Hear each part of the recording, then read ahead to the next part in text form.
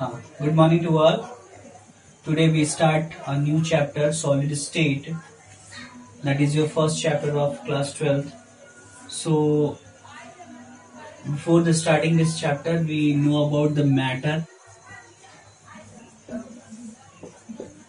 Anything which have mass and occupy space, that's called matter. Matter are basically three types solid liquid and gas. So on the basis of the particle and uh, the nature like fluidity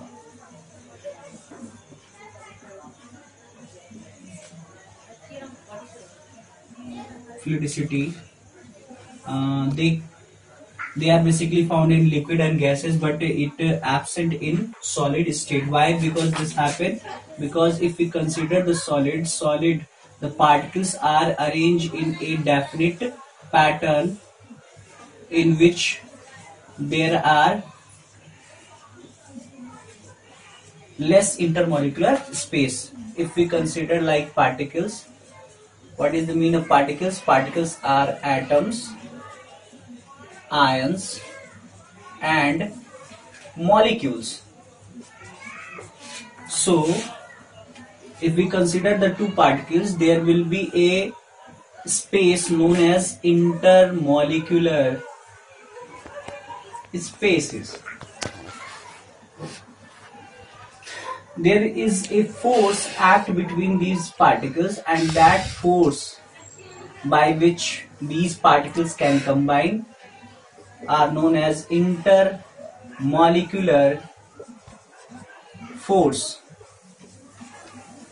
This force is helpful to bind these particles and close to each other. That's why they show a compact and fixed shape and fixed volume. So on the basis of that, we say that the definition solid, solid basically solid is a the matter which show which possess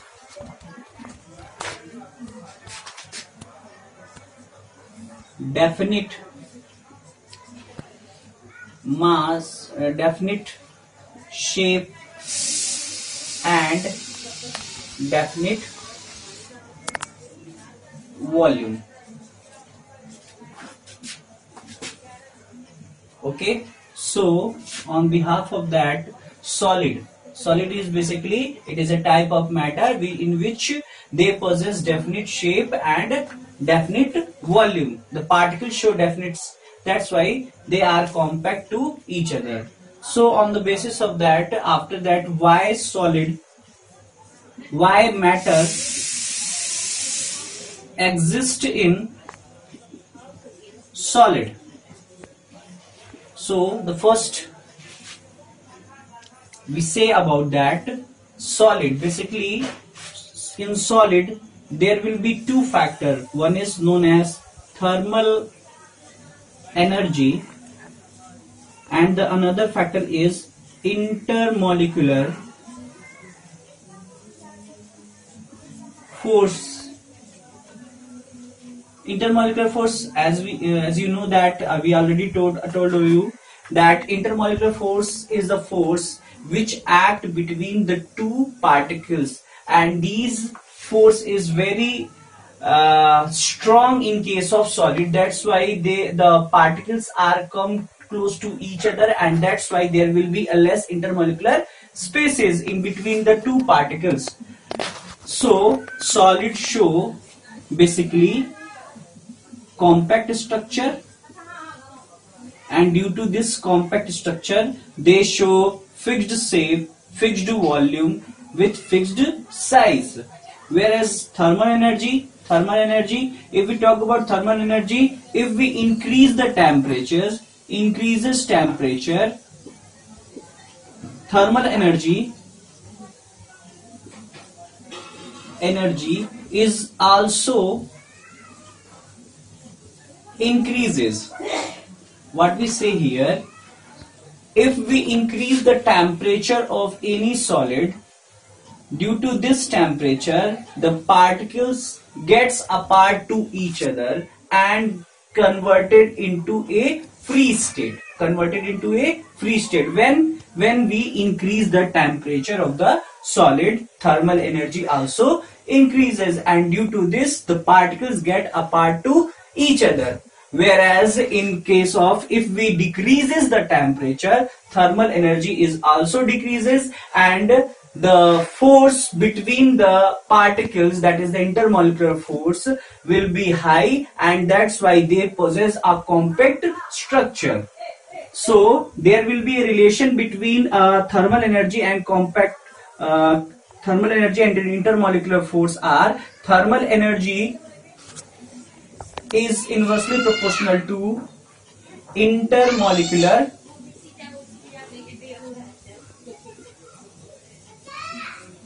force.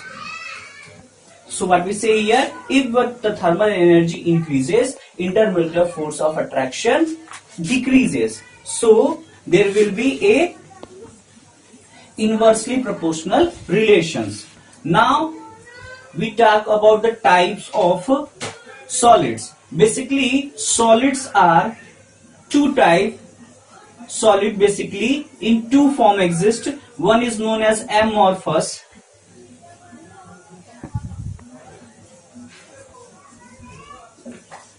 whereas another is crystalline. Amorphous. What is amorphous? Amorphous and crystalline are basically is a term of solid. Why? Because crystalline is a pure solid whereas amorphous are known as pseudo solid. What is the mean of pseudo solid? That means not a true solids it exhibits like a solid but it is a not a uh, true solid so what is amorphous if we talk about amorphous just like this plastic glass. The examples are some of the examples are glass. Or uh, it is also known as super cooled liquid. Whenever you see the uh, glasses in your window after some times after uh, after uh, sometimes you will see that the bottom of the window glass is thicker why this happened due to the gravity continuously due to the temperature the particles move from up to down due to the gravity and that's why the bottom of the glass gets thicker if we talk about crystalline, for example, we see the salt NaCl. NaCl basically is exhibits a crystalline structure. There are many uh, uh, there are many uh, methods by which uh, we can differentiate amorphous and crystalline. First of all, the point is the first point is long range order. Long range order means any crystalline substance is made up of crystals and these crystals show a definite arrangement of the molecules. So if we show like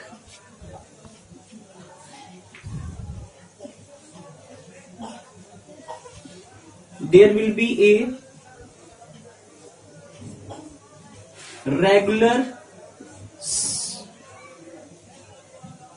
same kind of arrangement and these arrangements due to this they show a regular long range pattern in which this uh, crystalline solids uh, show like a hexagonal. Each if you see that each one is show hexagonal so there will be a long range pattern. If the pattern is repeated over a long range that basic property only occurs in crystalline solids. But where when we talk about amorphous there will be no any pattern. That means they show different different arrangements. And these due to this arrangement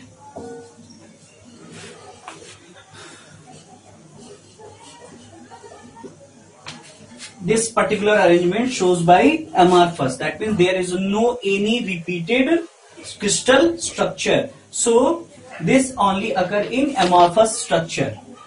Next point is melting point.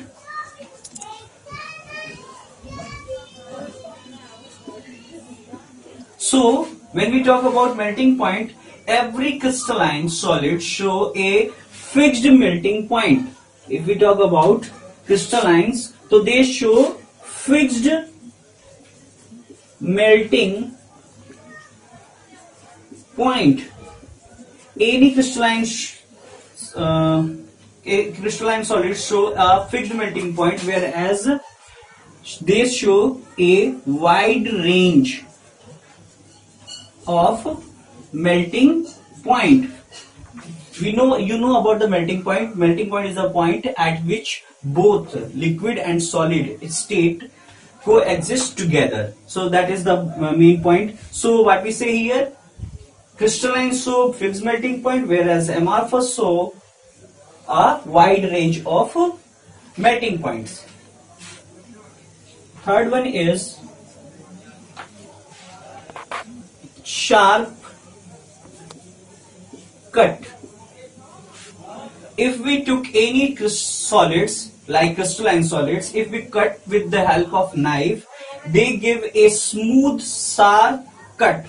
And these smooth sharp cut or plane surface only occur in crystalline solids whereas in case of uh, amorphous they show a rough cut. That means the surface will be rough in uh, structure and this occurs in amorphous. Next one is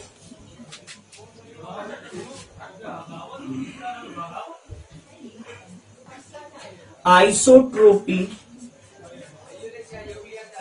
and anisotropy isotropy and anisotropy. Isotropy means uh, in this type of uh, in this type we talk about the physical parameters of the crystalline solids. Physical parameters like uh, electrical conductance, yeah, electrical conductivity, reflex, reflex um, electrical conductivity if we consider any crystalline what will happen here if the crystalline solid if we uh, pass the electric current you will get different conductivity at different point that means ki if we pass the electrical conductivity we will get different result at different position that means in all sides we never get the same result this will occur due to the crystalline structure. And this property is known as anisotropy. But if the physical parameters like electrical conductance or refractive index if in all direction they show the same result that property is known as isotropy. That property is known as isotropy. For example, if we draw a structure like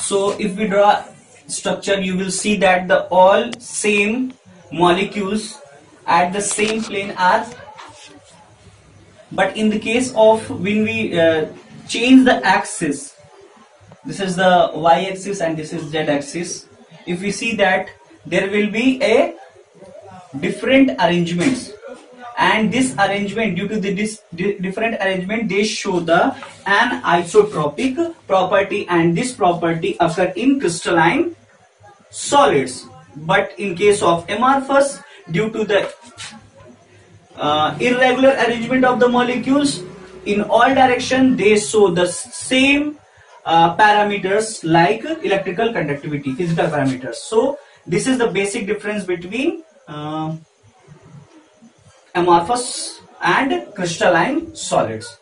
Okay.